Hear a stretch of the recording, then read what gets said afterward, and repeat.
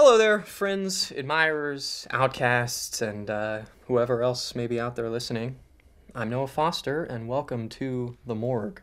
In light of last year's killing spree, I can't help but think is there more to come? Here are some things I just want to put out there before they cue the creepy music and the ambiguous shadow on my life.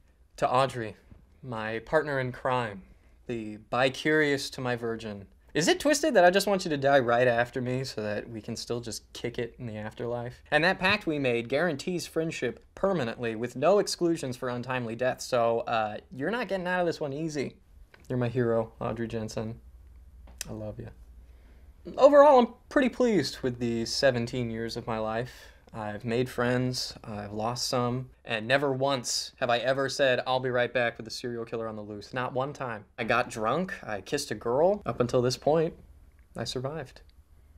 So, if you're watching this and I have made it to that big non denominational kingdom in the sky, please carry on my legacy. Keep searching for answers. And I just hope that my death was something iconic. I'm talking Janet Leigh in Psycho. And it better not have been off camera.